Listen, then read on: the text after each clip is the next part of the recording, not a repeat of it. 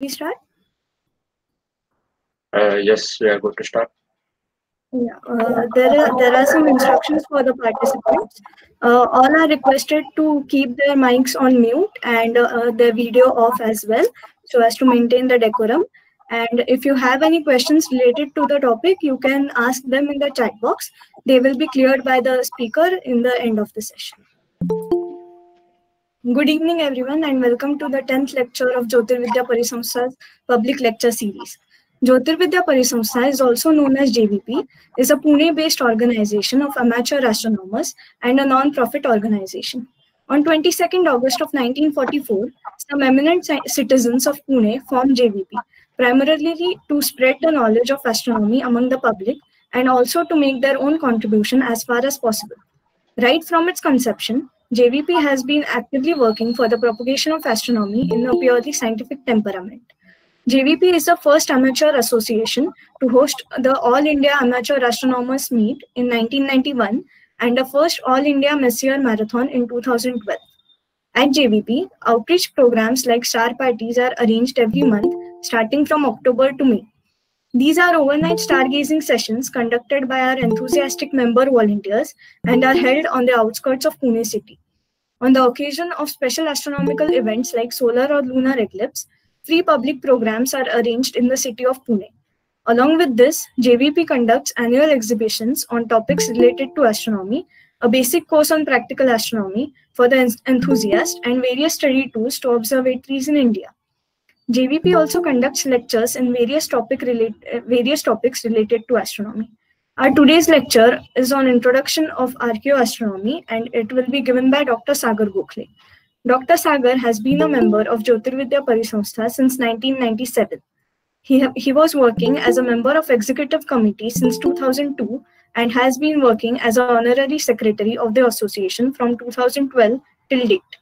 On professional front, Dr. Sagar is a chemical engineer with MTech in Bioprocess Technology and Doctorate in Food Engineering and Technology from the Institute of Chemical Technology, or previously known as UDCT Mumbai.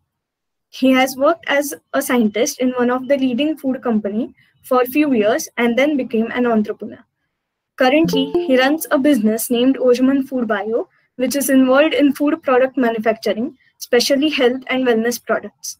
During his MTech and PhD research, he has published more than 12 research papers in peer-reviewed journals. Apart from hmm. astronomy, his interests are reading, trekking, and history of forts. In the field of astronomy, his inter interests are deep sky observation and astrophotography. As a member of Jyotirvidya Parisanstha, he has conducted as well as participated in various astronomy workshops and star parties all over India.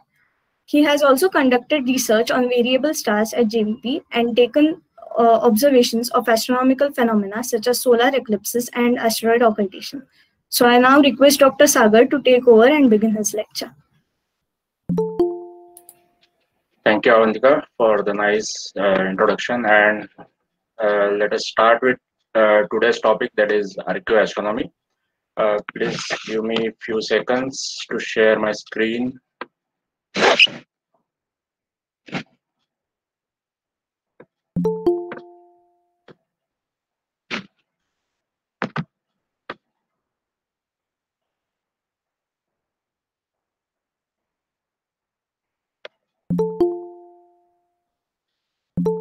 Okay, uh, is my screen visible? Yes, we can see. Okay, great. Uh, so let's start with uh, today's topic that is archaeoastronomy and uh, so I will walk you through uh, di different aspects of uh, archaeoastronomy which are related to India only or the sites related to India only and because this is a very vast topic and covering entire all the sites across the world is way too beyond uh, scope of this lecture. So uh, I will just restrict myself uh, for Indian Uh, references only. So let's start. Uh, so what is uh, archaeoastronomy basically? And as the name suggests itself, it is interdisciplinary science of archaeology and astronomy. So uh, we can call it as archaeoastronomy or astroarchaeology. It's one and the same. So that's an interdisciplinary science, and it tells us how people in the past have understood the phenomena in the sky or the astronomical events and how they use these uh, astronomical events uh, uh, in their day-to-day life and how and what role uh, the sky played in their culture. So uh, there are many astronomical events happening in the sky and there may be references of these astronomical events in literature maybe in books or uh, the poems, etc. So that all uh, is part of our culture that comes under archaeoastronomy as well as there can be structures like temples or you can see here pyramids or Stonehenge.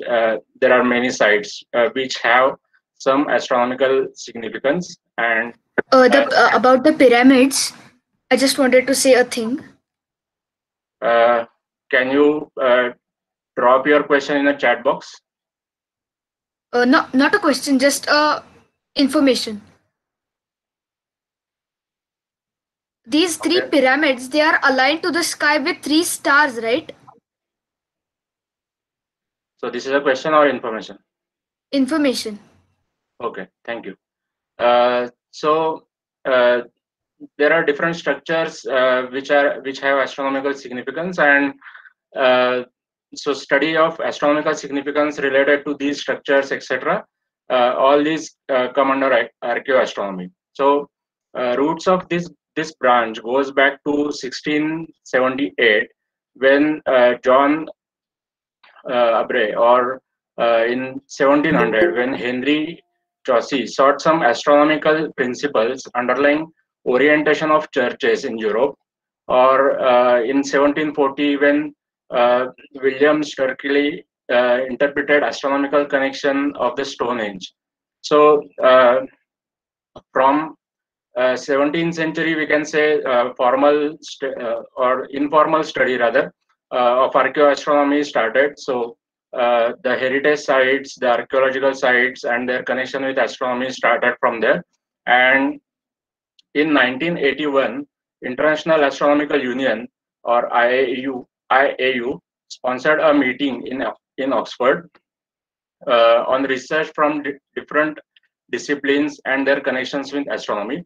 And one of the discipline was archaeology. And from that point, formal study of archaeoastronomy started, we can say. So, uh, that's how astronomy and archaeology uh, started working together or started evolving uh, as an interdisciplinary branch of archaeoastronomy and now we can see uh, that there are many research papers books etc etc on this topic. So uh, there are two methodologies uh, for the study of archaeoastronomy. Uh, one is green archaeoastronomy and one is brown archaeoastronomy. So green one is older and brown one came later one. So uh, green archaeoastronomy started with the book uh, by D.C. Heggie. Uh, uh, the book name was Archaeoastronomy in the Old World. And the cover of that book was green. And that's why uh, this methodology uh, is called as green archaeoastronomy. There is no other reason. And since first one was the green archaeoastronomy, the another one is named as brown archaeoastronomy. So uh, the green archaeoastronomy uh, is related to the st study of historical sites or heritage sites or uh, excavations and their astronomical relations, etc., or orientation of uh, churches, temples. Uh, all these come under green archaeoastronomy. So it is mainly related to the heritage sites. And brown archaeoastronomy is the study of understanding of astronomy in the history and what uh, astro what role astronomy played in the culture of uh, of the people and uh, uh, their calendars, their rituals, their festivals, etc. Uh, all this come under brown archaeoastronomy. So uh, if we say the orientation of this temple is like that, so that the sunlight will fall on the uh, statue inside the uh, temple on one particular day, then that comes under green archaeoastronomy. And when we say that Makar Sankranti uh, is celebrated on 14th January because uh, sun enters Makar Rashi on uh, that particular day. So that has some astronomical significance, and uh, that will come under Brown archaeoastronomy because it is uh, related to festivals and rituals, etc. So uh, that these are the two methodologies uh, to study archaeoastronomy, and I have few examples here. So uh, first photograph is Uh,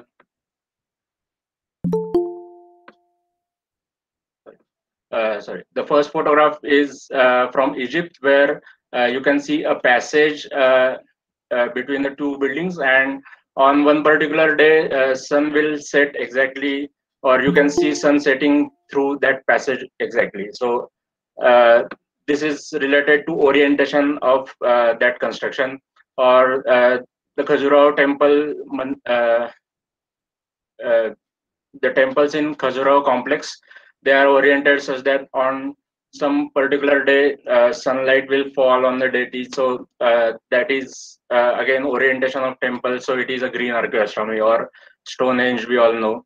And uh, whereas in brown archaeoastronomy you can see uh, there are cave paintings which have some astronomical uh, relation like they represent some figures of constellations in the sky.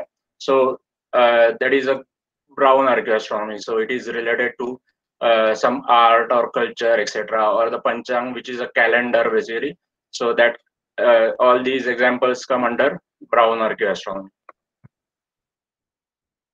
So uh, these are some of the world famous archaeoastronomical sites. So when we say archaeoastronomy, then uh, many people, uh, the first picture uh, come in front of their eyes is maybe Stonehenge or pyramids, uh, because these are the historical sites or uh, heritage sites which have uh, astronomical significance, and that's uh, why they prominently uh, come uh, in in front of you.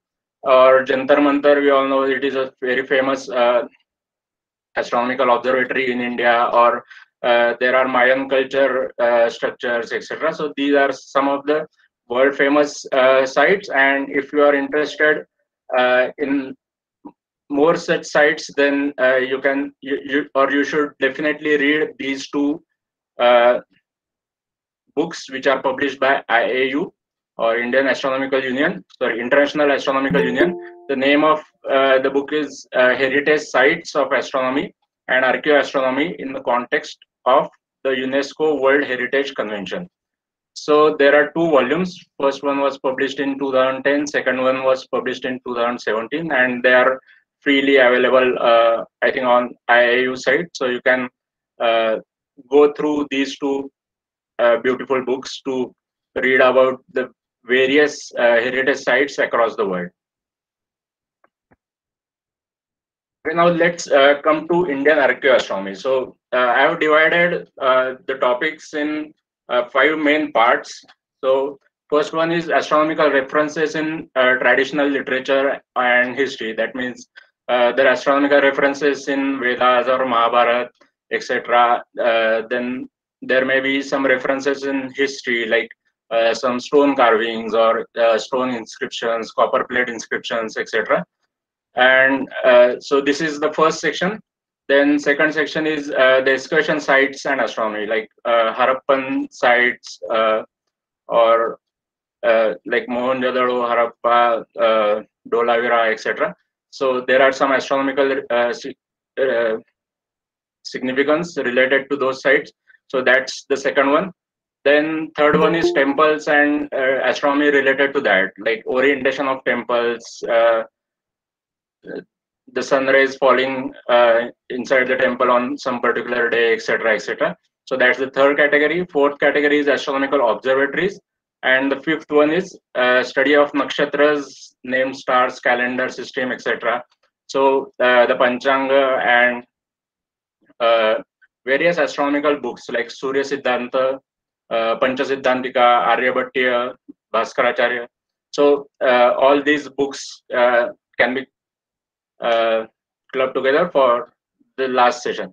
So uh, my talk today is also uh, divided into these subparts, but I will not be covering the last part like uh, the Surya Siddhanta and Panchanga, etc., because that's very huge topic in itself.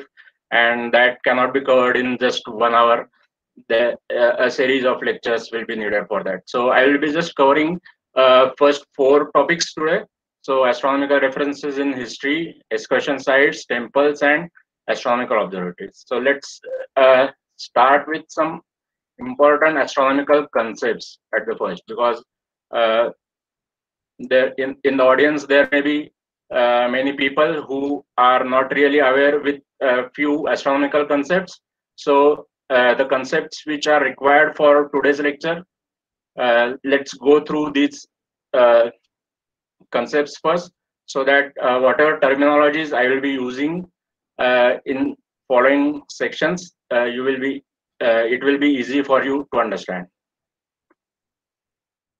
Okay, uh, so this is sky dome. So uh, just imagine that you are standing on a uh, on a ground and you are looking in the sky, and uh, so on the right hand side picture you can see uh, a, a man standing on uh, in a ground and there is a horizon. So horizon is imaginary line where sky dome is so is appeared to be touched to the ground. So that's the horizon point exactly overhead is zenith.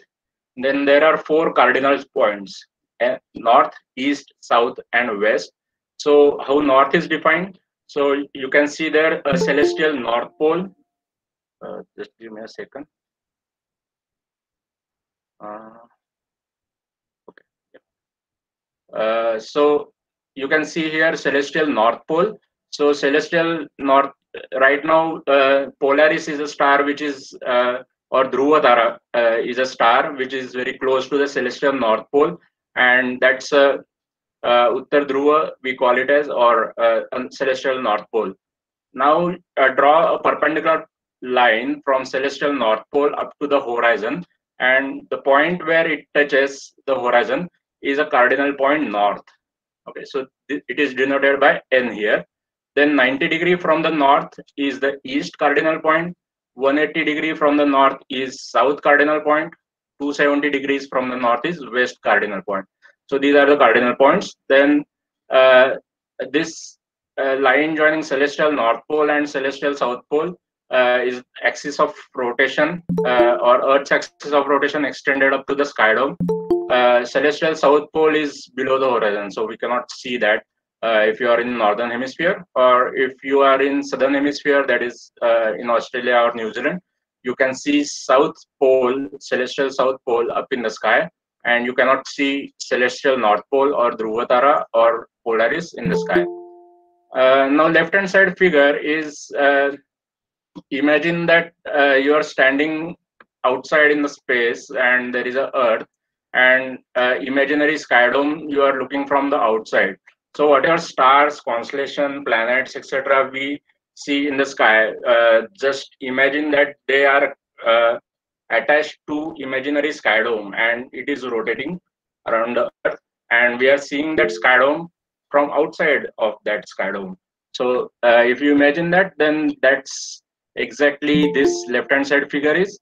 Uh, so if we extend Earth's axis of rotation up to imaginary sky dome, it will touch into two points and that will be celestial north pole celestial south pole. So uh, what we imagine basically is earth is stationary and this sky dome is uh, rotating around this axis at the speed of one rotation per day. Okay. Uh, let's go ahead now the second uh, second concept that we uh, must know is ecliptic so basically, ecliptic is orbit of Earth. So orbit of Earth around the Sun, uh, and uh, but we are on this Earth, and uh, we see actually Sun moving in the sky. So uh, daily, if you go on plotting Sun's position on the sky map, then you will get a imaginary line in the sky uh, on which Sun will move every year on the same line and that will be called as ecliptic. So ecliptic is apparent path of the sun in the sky on the background stars. So uh, if we divide this, this apparent path of the sun in 12 equal parts, we get zodiacal signs or Rashi. So uh,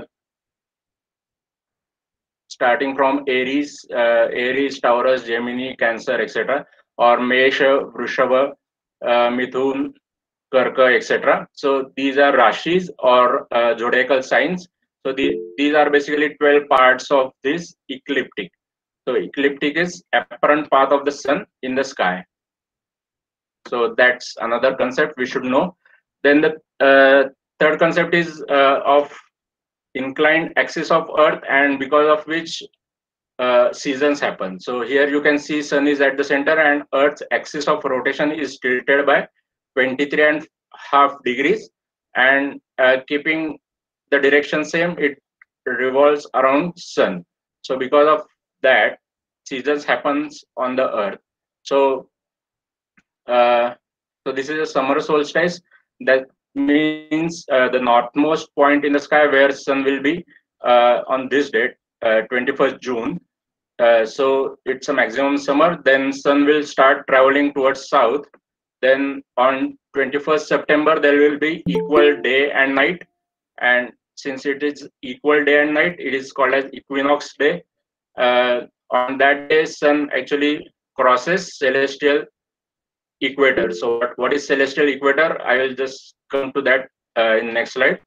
Uh, then sun uh, still continues traveling towards south and on 21st December it will be maximum towards south and that that is called as winter solstice and then sun will start uh, traveling towards north so that that means uttarayan will start and uh, sun will travel towards north on 21st March, again there will be equal day and night. So it, it is called as vernal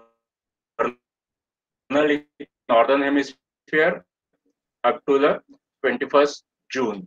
Okay, so these four points are very much important. Equinox days, that is vernal equinox and autumnal equinox. On these days, we have equal day and night, uh, and summer solstice and winter solstice. So summer solstice is uh, 21st June. That means the longest day in northern hemisphere. Winter solstice is 21st December. That means shortest day and longest night uh, in northern hemisphere. So sun is uh, at at the uh, uh, farthest point from the equator on this date towards south and on this date it is uh, towards north on the farthest point from the equator. So these four points are very much important for, uh, for us. Uh, again, this is imaginary sky dome. You can see uh, Earth at the center, Earth's equator and axis of rotation. Now this is imaginary sky dome. We are looking from the outside.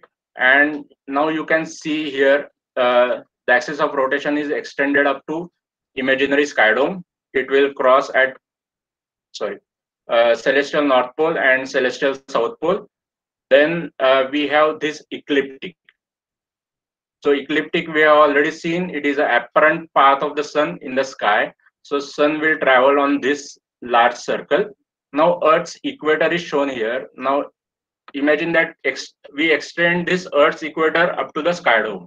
And then we'll what we'll get is celestial equator. So celestial equator is nothing but earth's equator's projection on the sky dome. So this is Earth's, uh, sorry, this is celestial equator and this is ecliptic. So these two great circles will cross each other in uh, two points, that is vernal equinox and autumnal equinox. So uh, again, let me take half a minute to explain uh, what is happening here. So sun is traveling on this great circle uh, on 21st March, it will be on vernal equinox. So it is crossing the equator here and it is traveling towards north. On 21st June, it will be 23 and half degrees away from the equator. It is a summer solstice, that is sun is maximum towards north. Then it will start traveling towards south. That means Dakshinayan will start.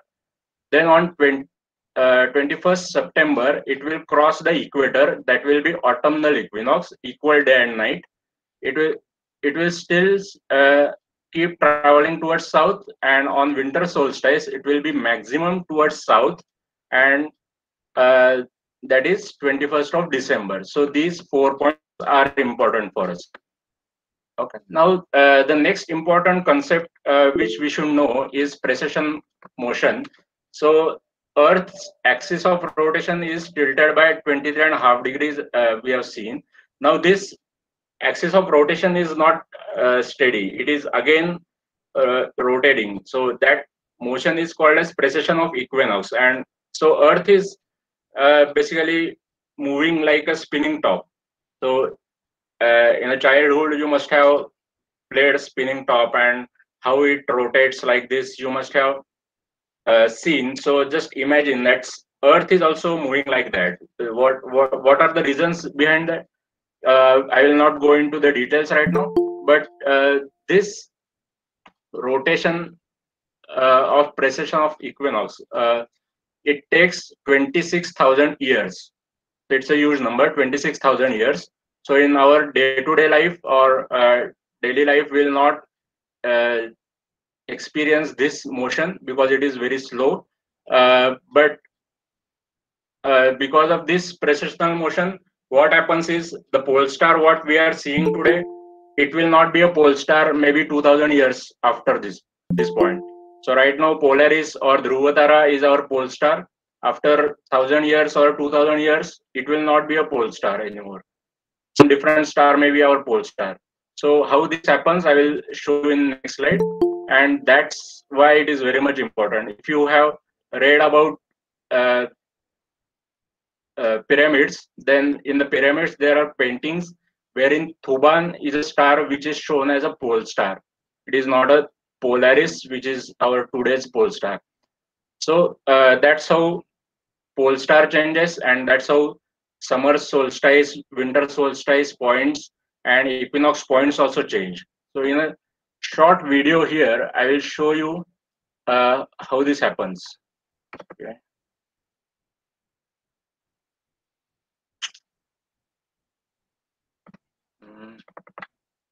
Give me a second.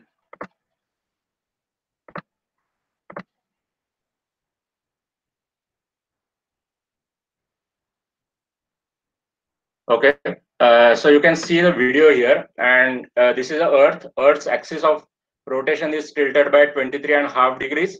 Uh, now, ecliptic plane is the orbit of Earth around the Sun. So that's a plane which is called as ecliptic plane. And there is another plane which is equatorial plane. So Earth's equator is extended up to the sky. It is equatorial plane. Now Earth is moving like this, like a spinning top. So uh, orbit of orbital plane remains the same, but uh, equatorial plane will rotate like this when Earth rotate like this. So the period for this rotation is 26,000 years. And this is how Earth will rotate in 26,000 years. And that's why the pole star and all these things will change. So here you can see uh, the vernal equinox is okay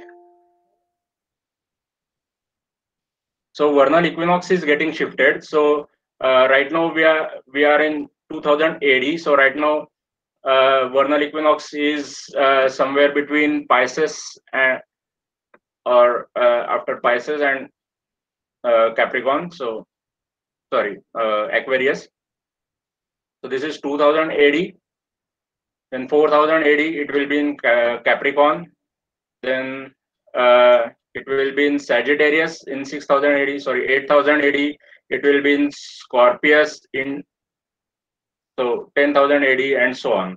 So this is how vernal equinox point will go on shifting. So vernal equinox is uh, the point where equal day and night happens. So right now uh, it have so uh, with respect to calendar, it, it, it will always happen. Sorry, it will go on shifting.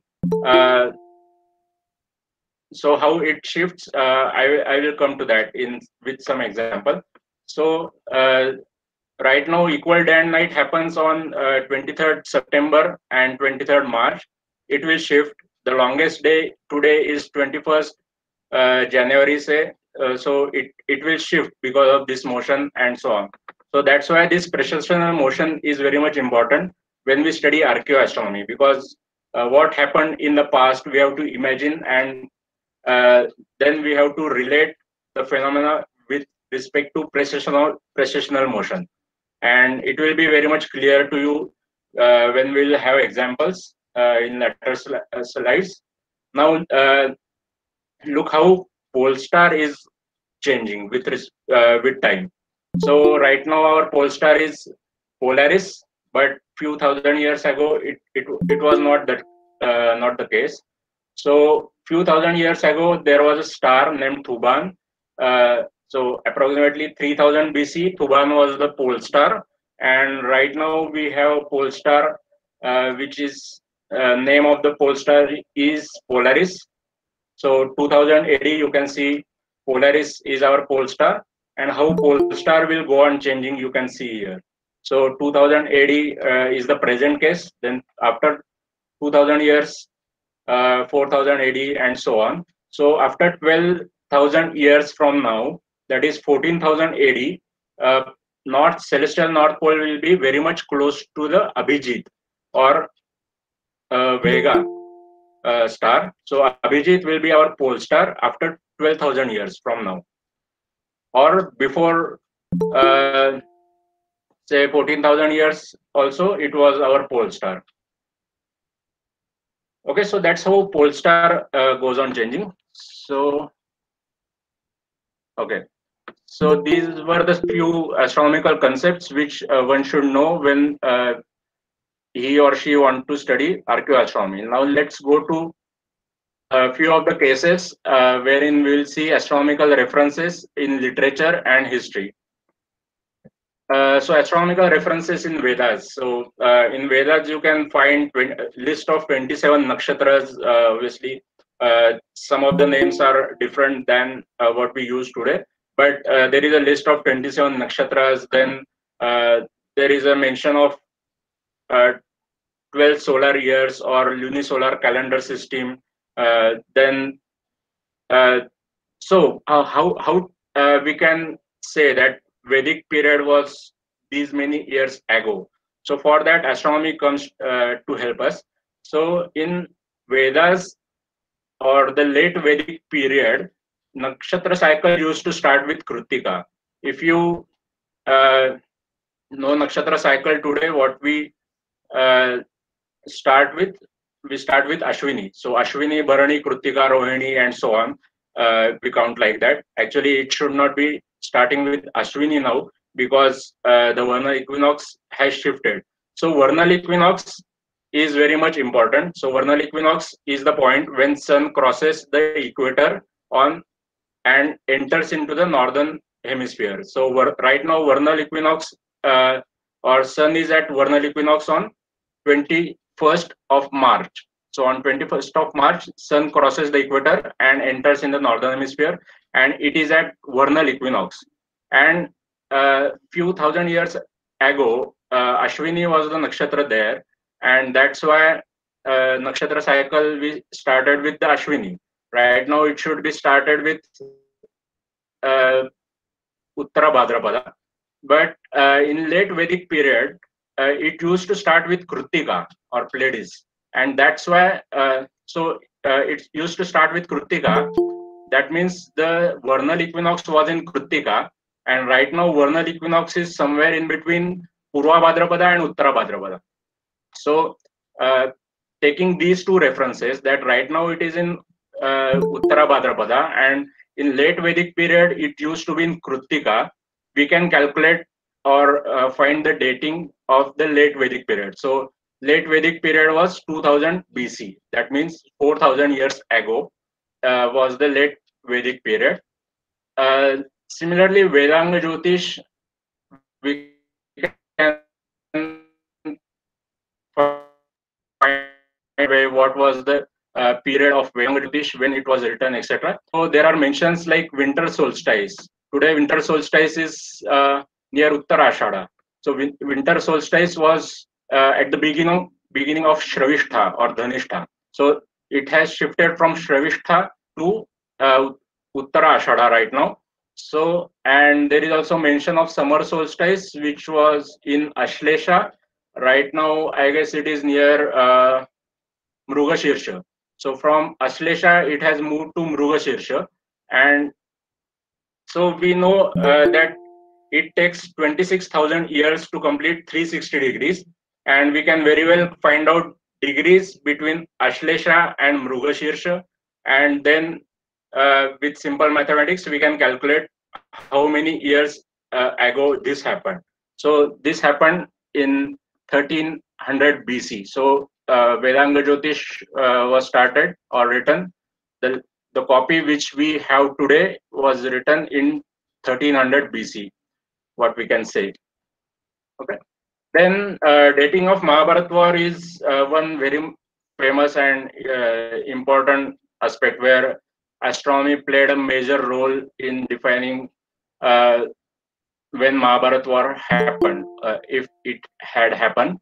Uh, so there are numerous astronomical references in Mahabharat, and typically people take two references to decide date of Mahabharat war. That is start of Kali at the end of end of the Mahabharat, and uh, two eclipses happened with the gap of 13 days. So solar eclipse and lunar eclipse happened just 13 days apart so this, these are the two references uh, that people take to decide the date of Mahabharat war.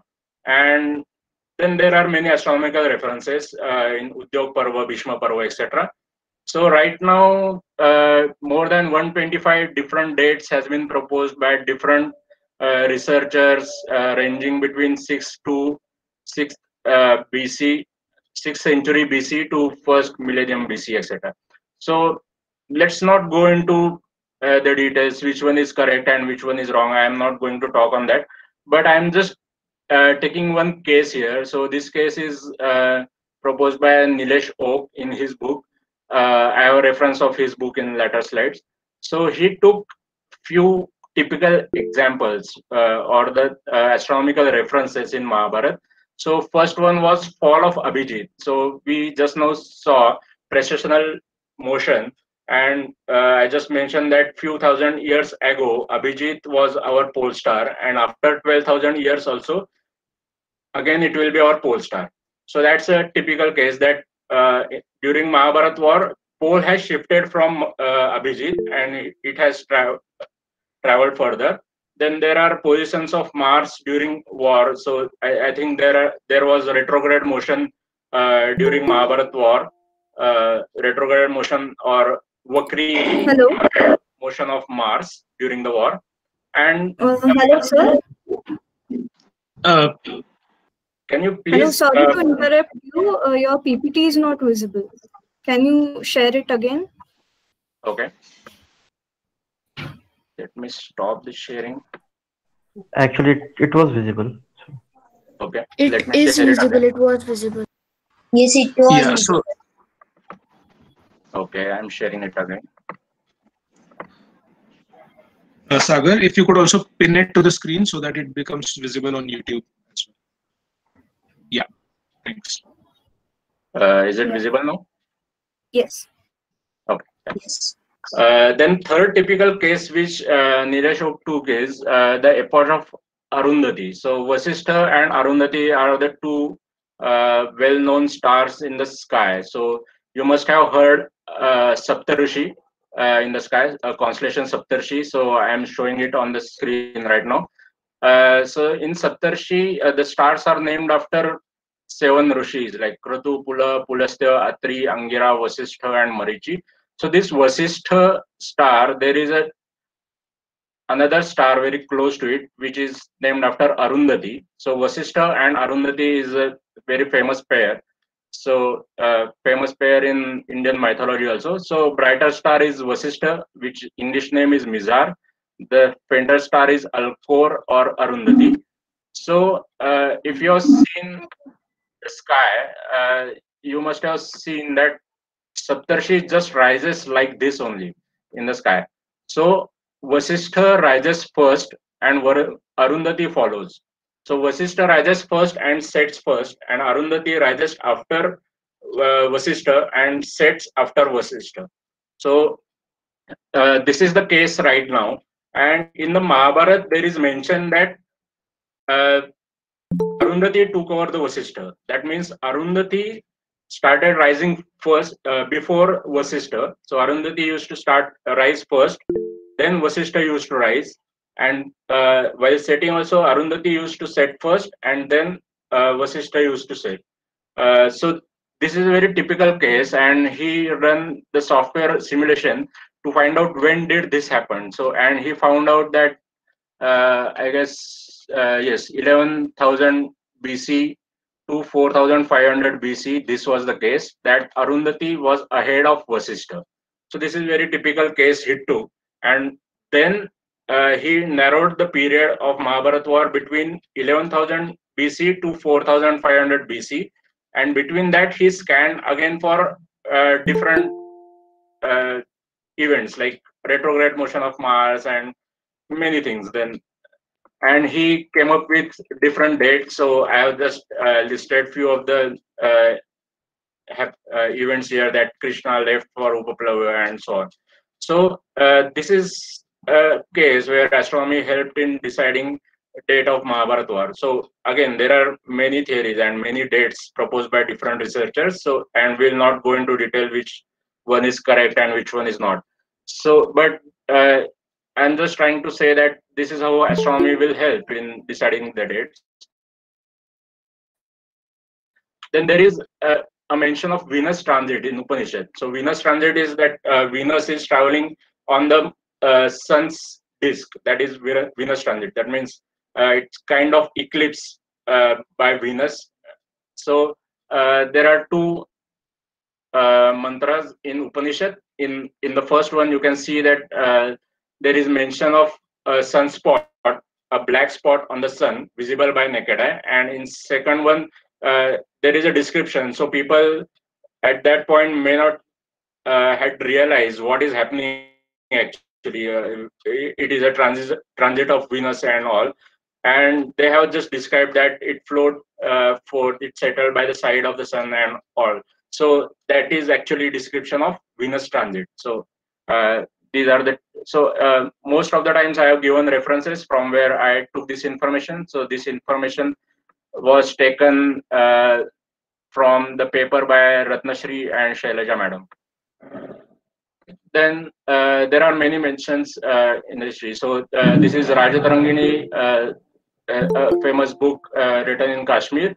So there is a record of comet halley in 1470 and 1531. So in this Rajatarangini book, uh, there is mention of Halley's comet.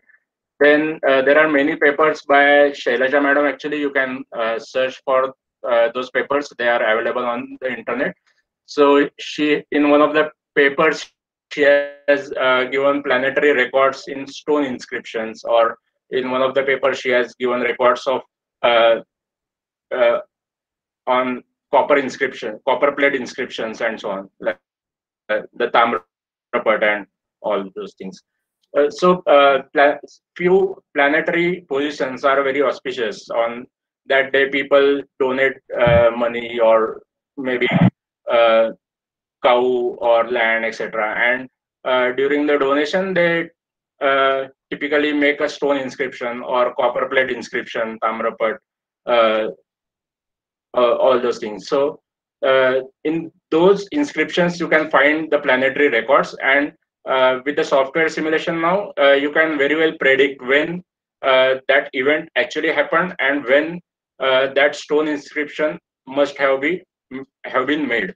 So this is how uh, astronomy will help in deciding date of that stone inscription or copper plate inscription, etc. Uh, then uh, these are the records of eclipses, solar or lunar eclipses uh, in different inscriptions. Uh, now let's go to next section. We are running out of time. Uh, so excavation sites and astronomy. So there are many excavation sites related to Harappan culture, and we'll take examples of few.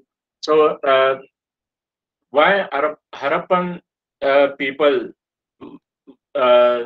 needed astronomy. So they might be uh, needed needing astronomy for uh, cal making calendars.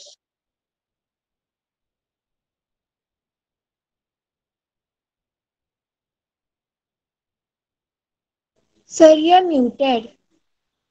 Sorry, uh, you are muted. But Pratishin Rao bro or something. Diyansh Rathod, bro. Okay. Uh, am I audible now? Yes, sir. Yes. Yes. Yes. Okay.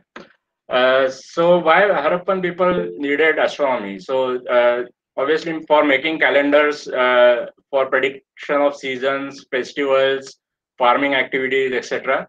Then uh, we all know that uh, Harappan people had uh, a trade relations with uh, Middle East or uh, Eastern Europe, etc. So for navigation purpose, also astronomy is very much important. Uh, if you want to travel in the night, a pole star or the motion of the stars will tell you the directions, etc. So navigation is very important aspect, and obviously astrological purpose, telling fortunes and all those things. And so it is believed by a few researchers that nakshatra system, uh, which is mentioned in Vedas, is actually uh, is a- adopted uh, from Harappan culture, or Harappan culture has a strong influence uh, on the Vedas uh, related to nakshatra system. And the lunisolar calendar system also might be adopted from the Harappan culture, or there is a strong influence on what calendar we right now follow, the Panchanga and all. So strong Harappan influence on that Panchang. So it is believed.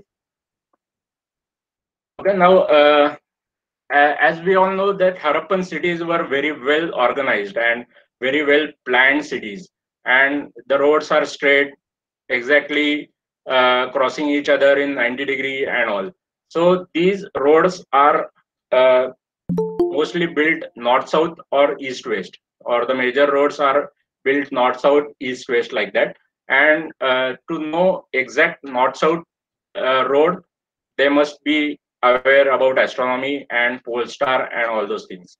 Uh, otherwise, it is not that possible. Okay, so uh, so if they want to align their road uh, north-south, then they must have followed Thuban at that time. Thuban was the pole star at that time, and they must have uh, taken reference of Thuban star as a north pole star and planned their city accordingly. Now, uh, because of precessional motion, uh, no, celestial north pole keep on shifting. So in a table here, you can see that Thuban was not exactly at uh, celestial north pole. So it was towards west 3000 uh, in 3000 BC. Uh, in 2500 BC, it was 1.8 degrees north eastward from exact north. And in 2000 BC, it was 4.8 degrees towards east from exact north. So if they are just following Thuban, then their uh, different uh, uh, the structures erected in different years must have drifted by few angles and that exactly what people have observed in this uh, in different cities like mohenjo-daro harappa dholavira so these cities were built in different years and uh, if they are following the thuban we can very well say which city was uh, built earlier which was built later because they are just following Thuban and position of Thuban is shifting by few degrees. And that's why their entire city shifted by few degrees because they are following Thuban or uh, they are following Rohini. Rohini was on vernal equinox at that point. Rohini Nakshatra, we all know, uh, it is a bright red star uh, in the sky. So if they are following Rohini to build east-west road, then position of Rohini is getting shifted by degrees year by year uh, uh, obviously not every year, but uh, we'll recognize the motion. But uh, in few hundred years or few thousand years, uh, definitely there will be a major shift, and that's why their city entirely is shifted by few degrees, and that's how we can say Mohenjo-daro is the oldest city, then Harappa is next, and so on.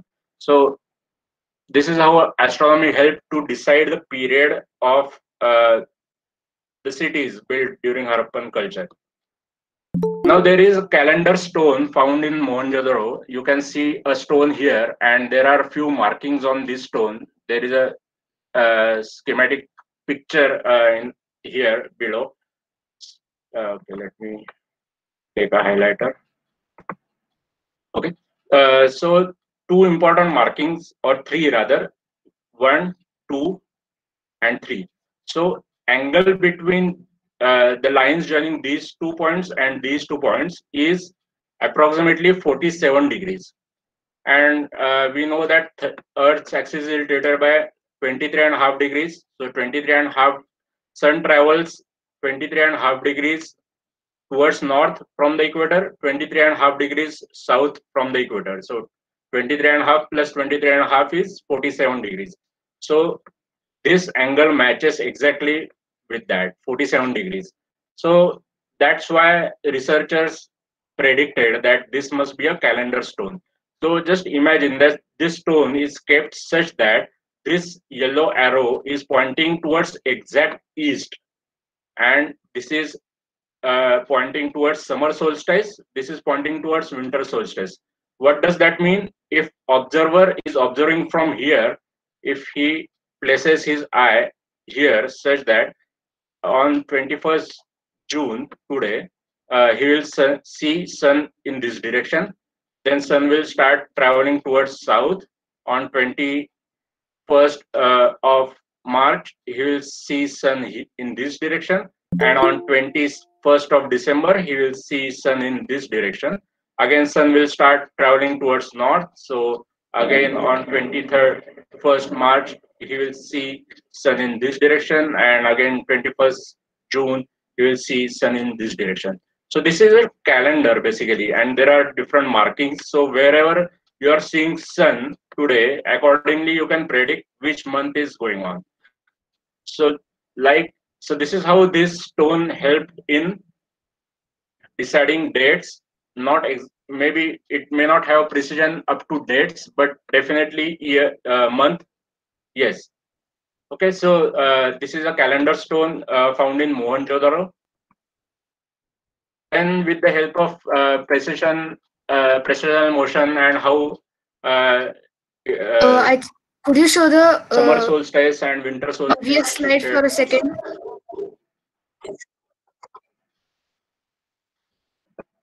okay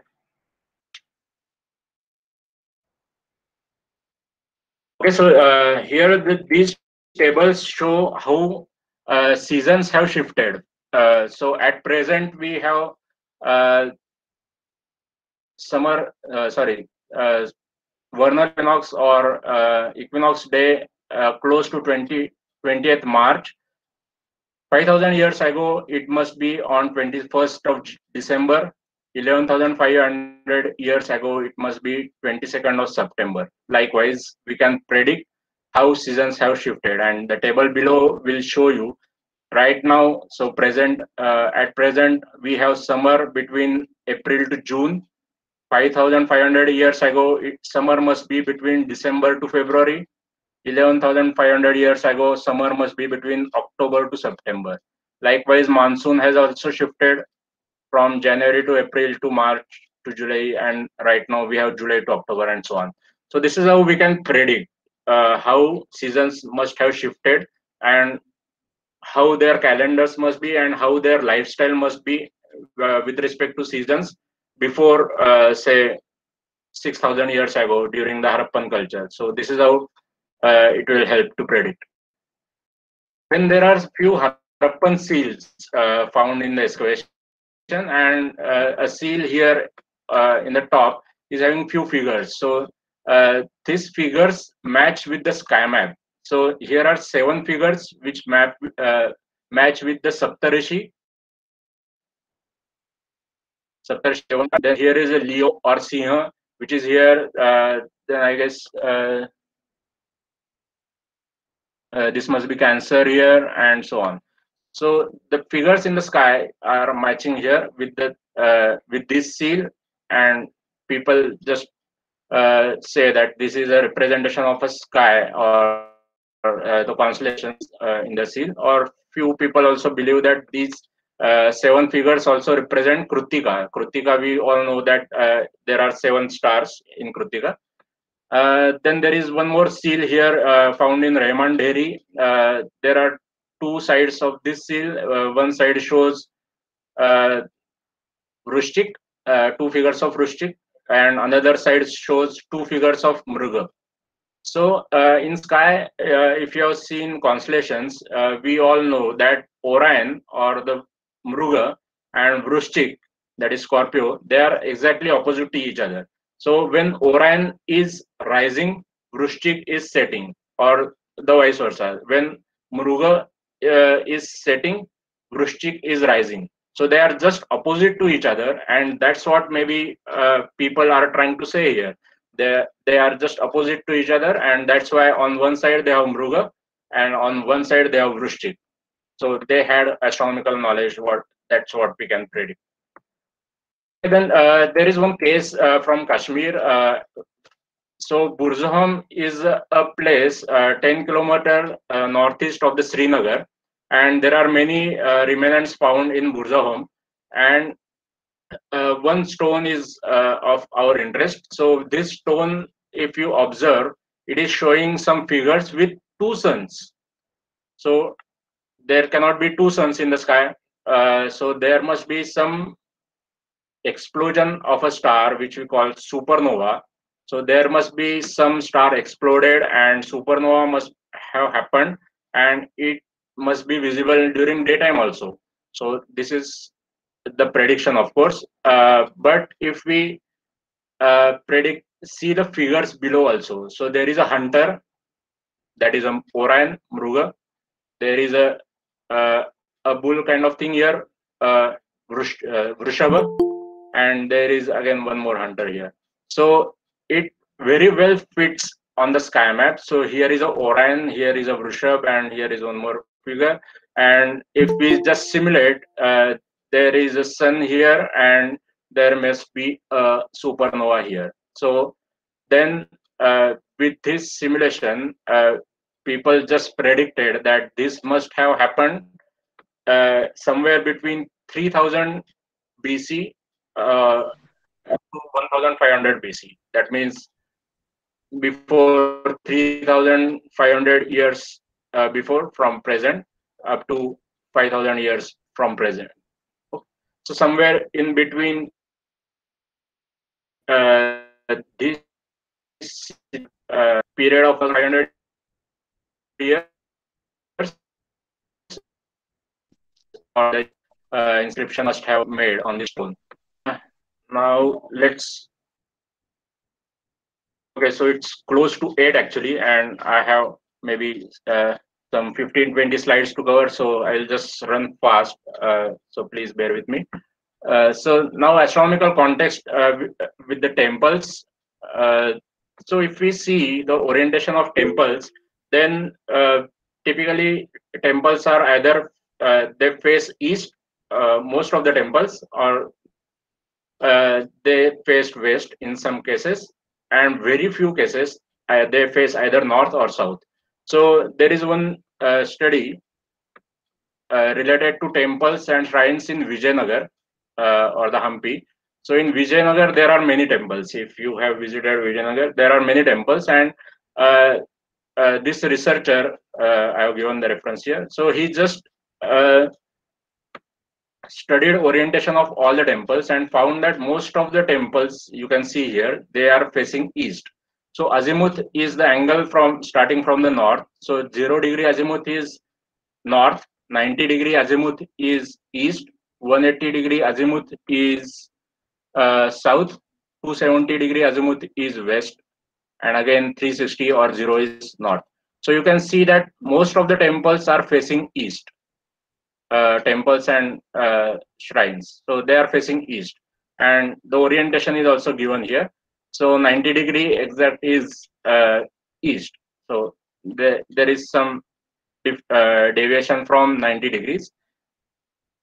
Maybe that's a calculation error or precision error, or uh, people want to uh, orient like that only, and why I, I will just come to that point uh, in few minutes.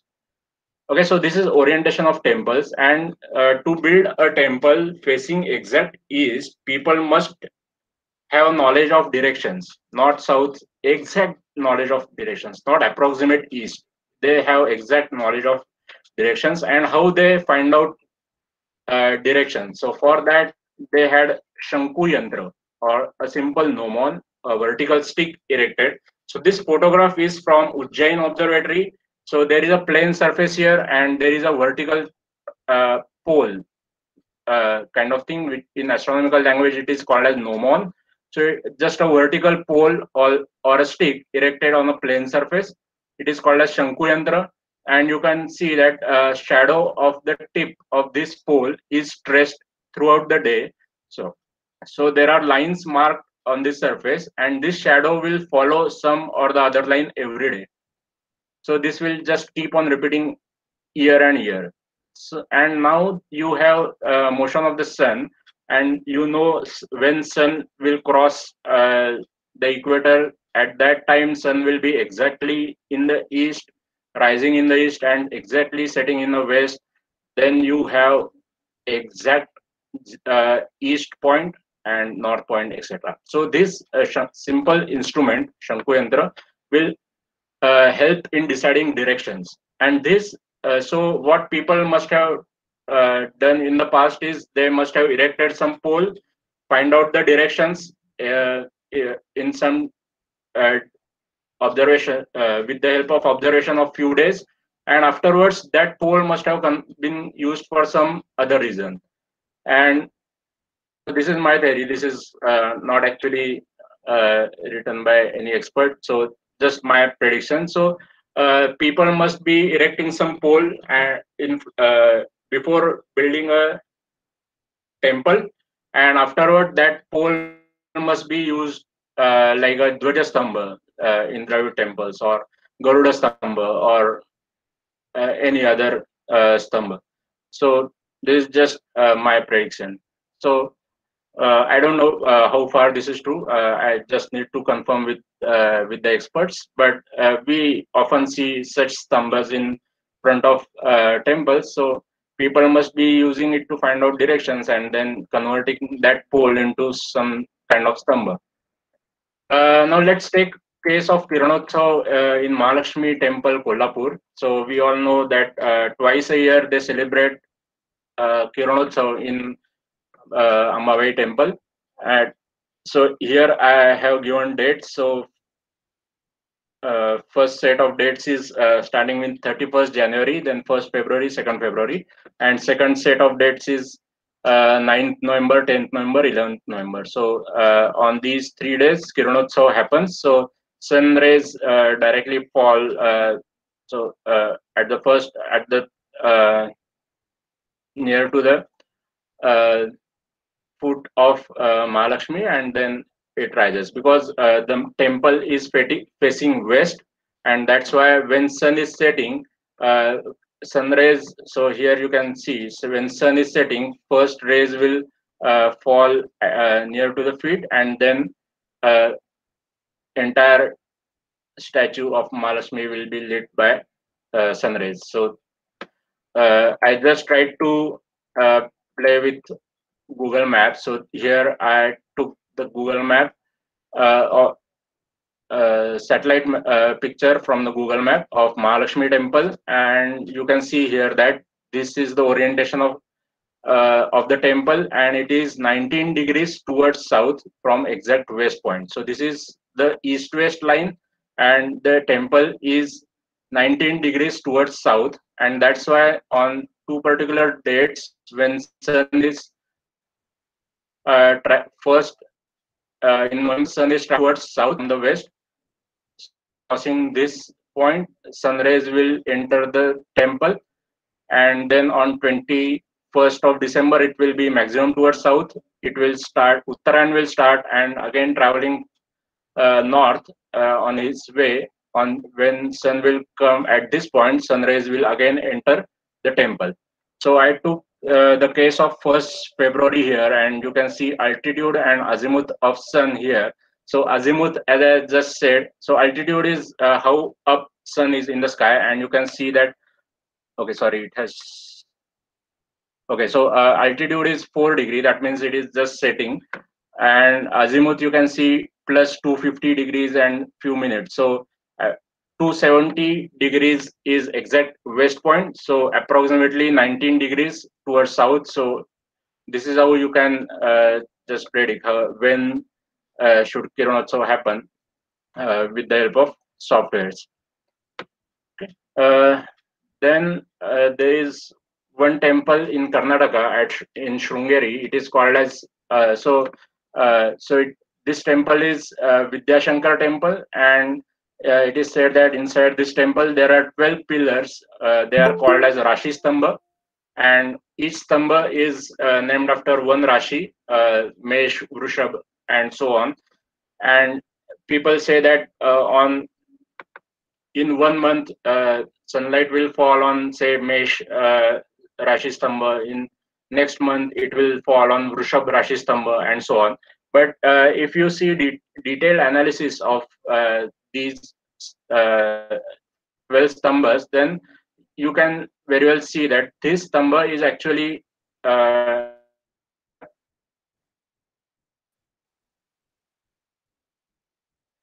or either from this door or this door or the window. And uh, this stamba will block the light fall falling on this stamba and this stamba will block the light falling on this stamba so this is not exactly true and uh, these two stambas will not get light uh, in respective months. Otherwise all other stambas i guess uh, they get light uh, for a month. Uh, so each rashi is getting uh, so each rashi stamba is getting light for uh, one month and so on. But not exactly true. These two pillars will not get light anytime Uh, then temple complex at Khajuraho, uh, that is important thing. So uh, temple complex in Khajuraho was built during 9th up to 12th century and it was it was built by Chandela kings and this uh, photograph is of Lakshman temple which was uh, which is one of the oldest temple in the complex and it was built by King Yashovarman in uh, 10th century so it was built between 9 125 up to 950 and uh, as a symbol of uh, his victory or uh, the Chandela king's victory over Pratiharas, he built this temple such that on the day of victory, which was the Holi, uh, so on the day of Holi, the sunrise will enter the temple and fall uh, on the statue of Lakshman. So this is how this temple is built. So just to remember his victory every year uh, over Pratiharas on the day of Holi, uh, he built this temple such that sun rays will fall on that particular day only on the statue of Lakshman. Then uh, in this temple complex, uh, I, I, think except just one uh, temple, which is uh, temple, all other temples are facing east, and this is a map of uh, this temple complex and all other uh, temples are facing east and on some or the other day uh, this light keeps falling on the deity inside the temple so that's how this complex is uh, temple complex is built and there is one uh, cave temple in Bengaluru. It is Gavi Gangadhareshwara cave temple. And on 14th January, that is day of Sankranti, uh, light exactly falls on the Shiva, Shivalinga here. So it is a cave temple and here is a map. So these are the hills and there is very small gap kept here. And light rays exactly enter through this gap on 14th January and uh, uh, they enter from this gap and then enter uh, through the door and enter through the horns of Nandi and then fall exactly on the Shivaling uh, Shivapindi here on 14th of January. So that's how this cave temple is carved. Very uh, nice calculations. And on 14th January every year, uh, this these sun rays pass all the obstacles and fall on the Shivalinga, Shivalinga here. And then uh, you can see these two pillars, uh, peculiar pillars here. And uh, these pillars have a circular disc and uh, they were built such that on a solstice day, shadow of this pillar will fall on this pillar. But right now, because of the trees, uh, shadow is not well casted and we cannot see this uh, phenomenon. But uh, I think there is paper by Shailaja madam and you can read that. And she has shown how uh, the shad shadow of this pillar on uh, or this disk on this disk travels through the year. Uh, then we have many sun temples uh, in India. Konark Sun Temple is very famous, but uh, apart from this that these temples are of sun there is no other astronomical connection with these sun temples so either konark sun temple or modhera sun temple there is no astronomical connection just that it, it is sun is an astronomical object that's why i will listed it here but in konark sun temple uh, here is a, a photograph of one wheel here. And so we all know that it is a chariot of sun. And there are 12 wheels. And uh, i think two of the wheels uh, they play role of a solar clock here. And shadow of the central projection falls on uh, these uh, partitions or uh, of the wheel. And so here you can see the timings also so the shadow of this projection will fall here in the morning 6 a.m then uh, sorry like this 6 a.m 9 a.m a.m 12 p.m 3 p.m etc so this is how uh, this wheel plays a role of solar clock uh, then other sun temples in India, as I said, Modhera Sun Temple. Uh, then there is uh, one Shivalaya, which was originally a sun temple in Badami. Then Lonar, uh, we have Daityasudan Mandir, which is actually a sun temple, and a cave temple in Badami. So uh, it is a simple cave, uh, and there is no statue inside the cave, but uh, there is just a plain wall. And every day when sun rises, so this picture is taken uh, from inside the cave, and this is the east, and sun rises uh, from this cliff. And when sun rises, uh, sun rays enter the cave and fall on the opposite wall. And there is uh, just one picture of sun uh, painted on the opposite wall. So that's a sunlight cave uh, at badami. Then there are sun shrines uh, in varanasi uh, they are so there are 12 sun shrines each one after one month so this is again i think towards summer solstice it was and this is towards winter solstice. And how sun travels from north to south uh, each month uh, uh, one sun shrine is assigned to uh, each month. So this is it sorry uh, this is in varanasi okay actually uh, it's 812 and i still have one section remaining astronomical observatories. I will quickly give overview of two three sites which are very uh, important and you must not have heard. You must have heard about jantar mantar and lot of information is available uh, on the internet about jantar mantar.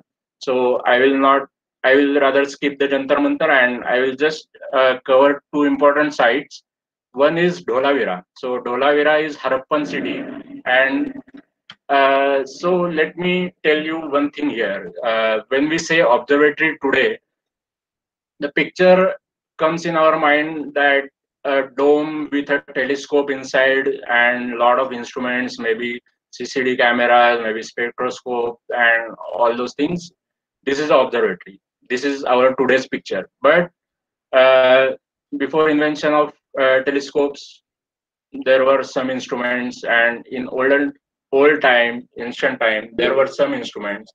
So at that time, motion of sun was very much important for them and to track motion of sun they have built some instruments and we can very well call them as observatory because there are some instruments to track motion of some uh, celestial object so uh, that's why uh, this observatory may not fit in your picture of observatory today but yes these are very well observatories because there are instruments uh, to track motion of sun. Uh, so this here are pictures of uh, some remnants in Dholavira. So Dholavira, uh, if you see the map, Dholavira is on Karkavrutta, that is 23.5 degrees north latitude. Okay, and uh, slope here of this land is exactly 23.5 degrees. So if you know construction of equatorial mount for the telescope, one axis uh, that uh, have angle of 18 and a half degrees, which is equal to latitude of Pune and so on. So uh, this place is on Karkavrutta, latitude is 23 and half degrees and slope is exactly 23 and half degrees. This must not be a coincidence. So they have purposefully made this slope as 23 and half degrees so that person standing here, and this is not south direction by the way. So person standing here will see uh, pole star touching the horizon. Exactly because uh, slope is adjusted such that. Then the second thing is uh, in Dholavira, all the constructions are either rectangular or square in shape, but there are two remnants which are circular, or rather one is exact circle, another is not exact circle, but slightly off circle, we can say. So it is like this. So then uh, researchers uh, said that this is not the ordinary building and there must be some uh,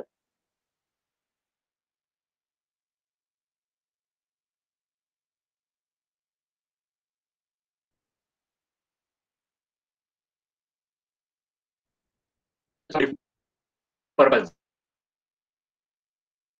The work of Mayank Walkishan with respect to uh, Harappan culture sites and archaeoastronomy related to that. A, a, lot of work actually. So you must visit TIFR website and so these are the two papers by uh, Mayank Vahia sir and his student uh, Sri Kumar Menon. And they have simulated uh, the phenomenon here. So in next slide here, uh,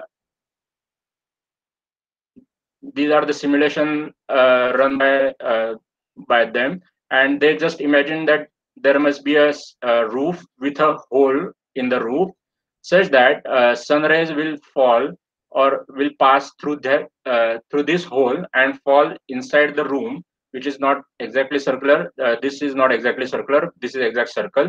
And uh, if we see a picture again there is a wall inside this structure up to the center of this uh, this circle. So this wall uh, they have projected. So here you can see this is kind of off circle and here is a wall and you can see that sunlight is falling here here here on uh, so this uh, observatory is built at Karkavrutta. So when sun is at maximum north, uh, it will directly come overhead and on 21st June today, it was not 21st June uh, 5000 years before, but uh, if this observatory is operating right now, then on 21st of June, sunlight will fall exactly on this wall here, you can see.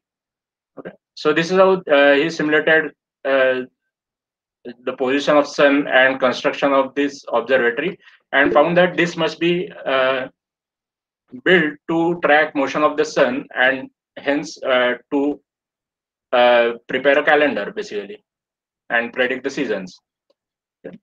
Uh, then there are some uh, megaliths in South India. Uh, so this is in Baise, this is in Hanam Sagar.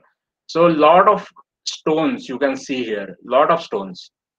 I think thousands of stones, and they are aligned in some particular direction. And here is an example. So on winter solstice, uh, 21st December exactly, sun is setting exactly in this line. So you can see sun is setting here so if we join, uh, if we draw a line joining these two stones, that will be pointing towards uh, winter solstice day.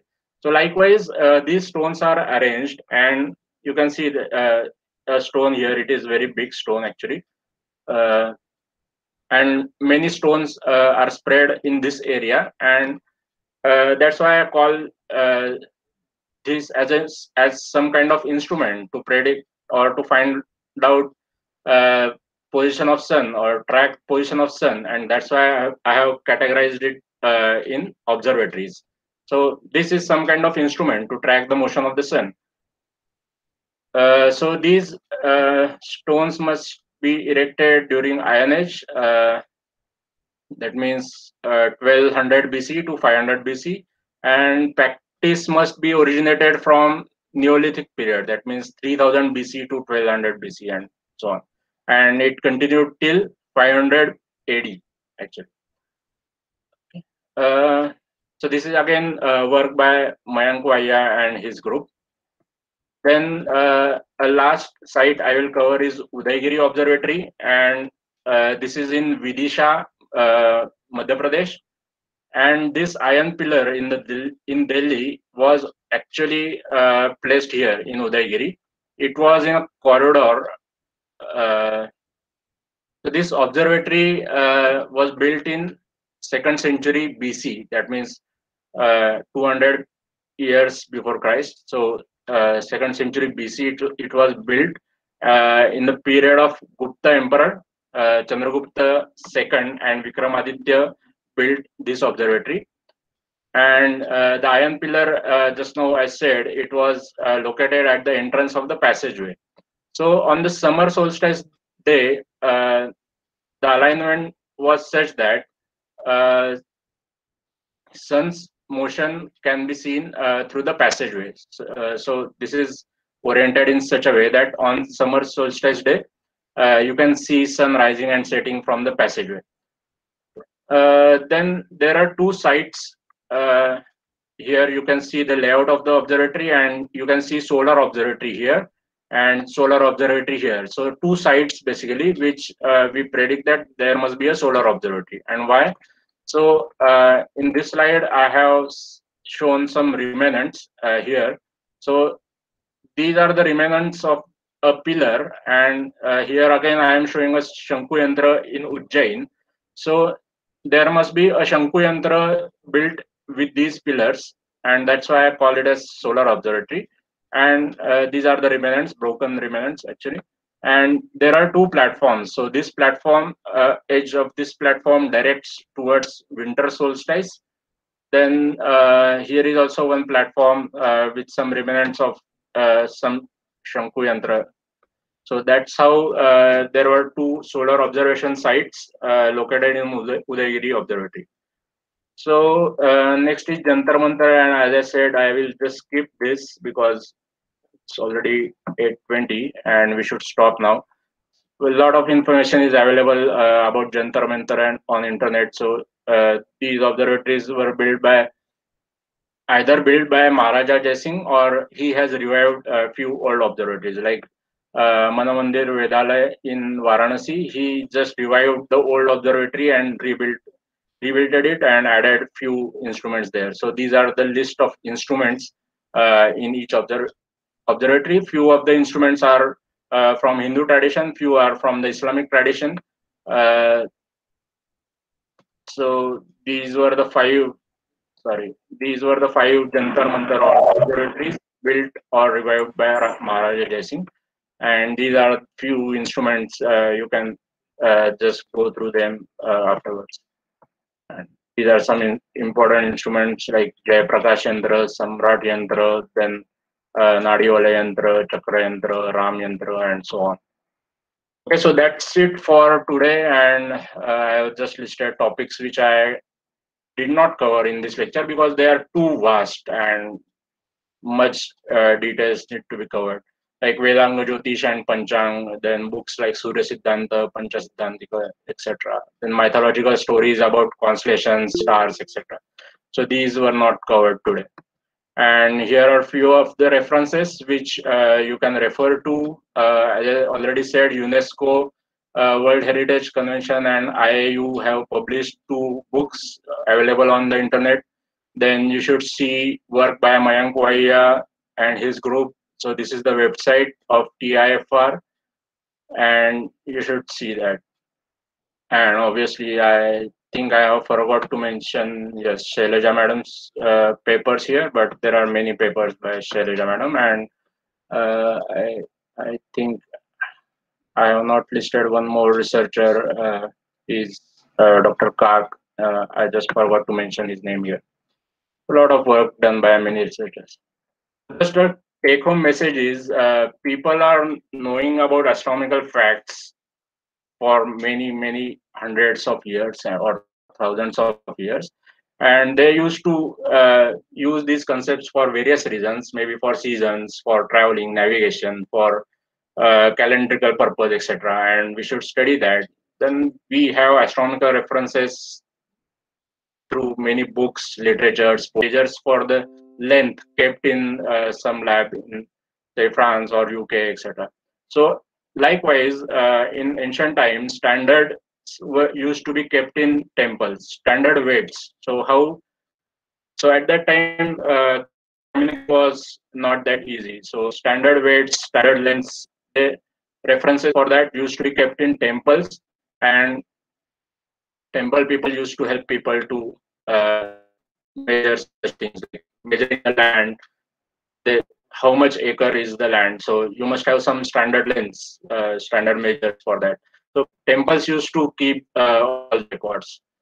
So just my last message is, so when you travel and uh, go visit any heritage site, just look for some astronomical relevance there. You must, you will find some astronomical relevance and you must study that. So that's the final message. Uh, thank you for today.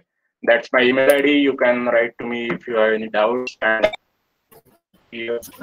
already approaching 8.30 uh, maybe questions. Yes, yes. Uh, it was uh, just to uh, tell you that it was an awesome lecture.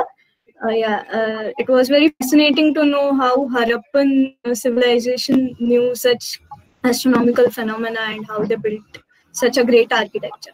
So we will take some questions. Uh, first one is yep. from Advitiya. Sir, why the ancient astronomy, after being so accurate, yet it is so underrated? it is too underrated. Yes, why it is uh, So actually, yeah.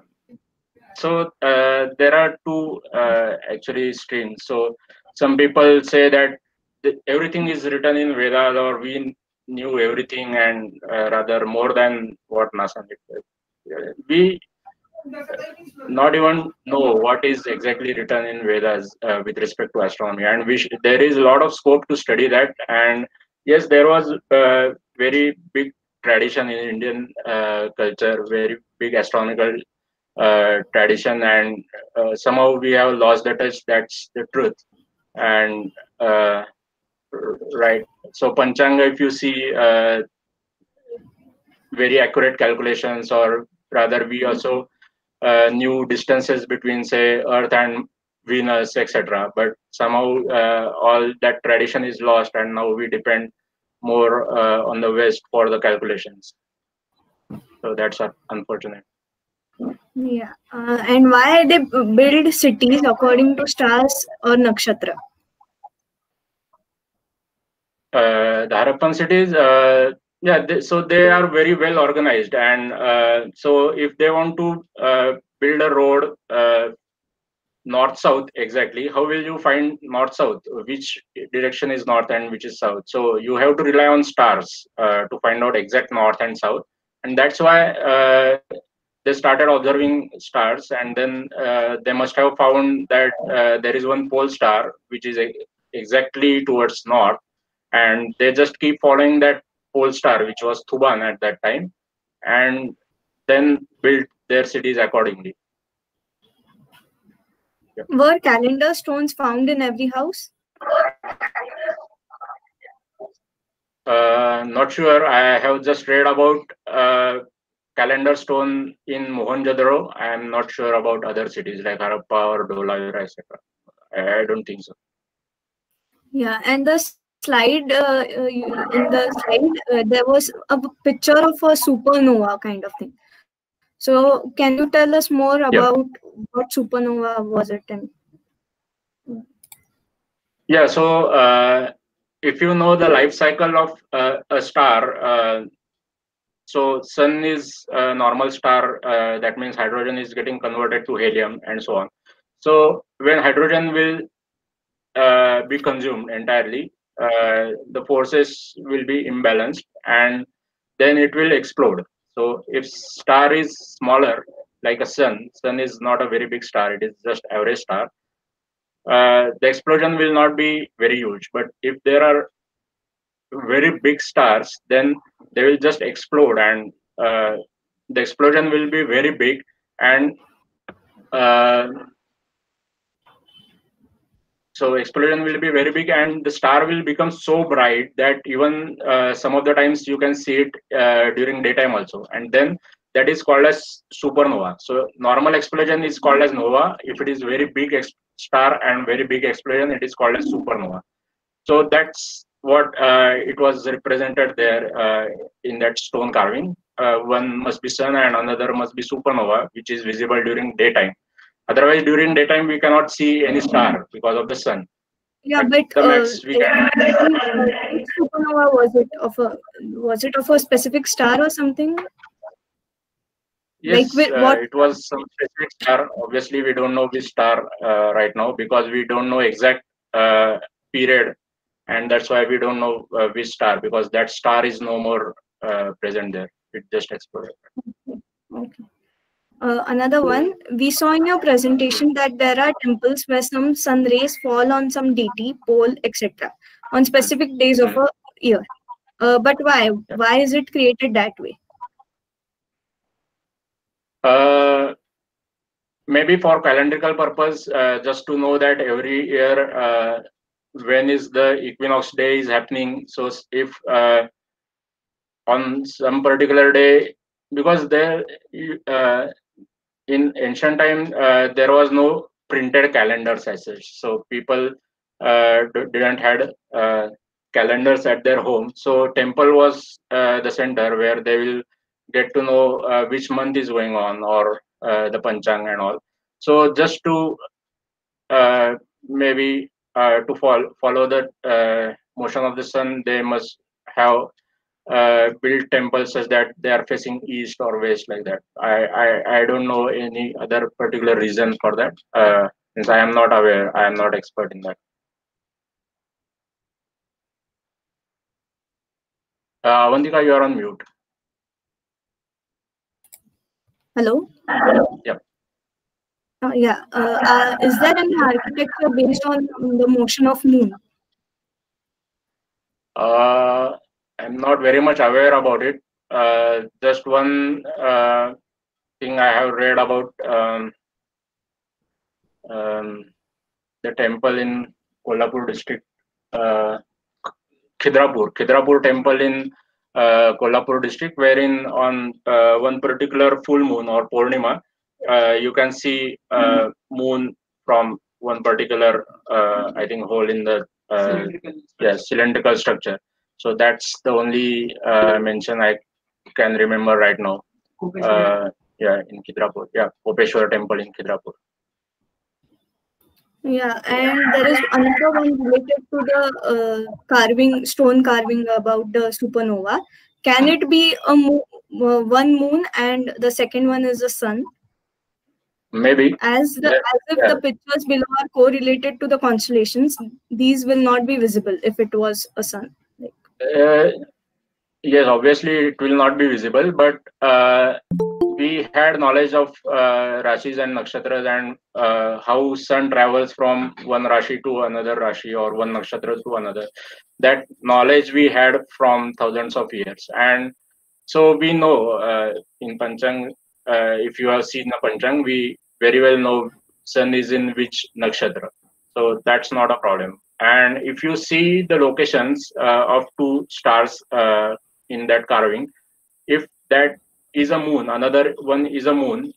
If that moon is, if it is very close to the sun, we cannot see that moon because it will be very small. So if you have uh, tried seeing uh, Pratipada moon or Dvitiya moon, uh, it is very difficult to locate even after sunset. And uh, during daytime, moon is visible. That is right, but not when it is very close to sun. So that's why that theory is discarded. Earlier, people used to say that uh, it might be sun and moon, but that theory was later discarded because if moon is so close, it will not be visible during daytime. So that's why people said that uh, it must be a supernova. Yeah, and the last one. So can we say Harappan civilization knew that Earth is round and helios- heliocentric model? Uh, not sure about heliocentric model, uh, but uh, yes, Earth was uh, round.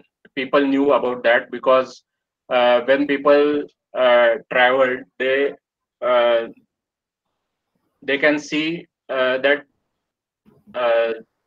the pole star is not at the same location from each side. So if people travel towards south, they see pole star going down, or people if they travel towards north, they see uh, pole star rising up, and that's why they predicted that Earth must not be a flat and it must be a round, and also uh, different positions of sun also uh, from different locations. From that, people had predicted that Earth was uh, Earth is not flat and it is round. So it was uh, the belief. So people knew from India to Middle East to Greece, everywhere, everywhere people knew that uh, Earth is round and it is not flat.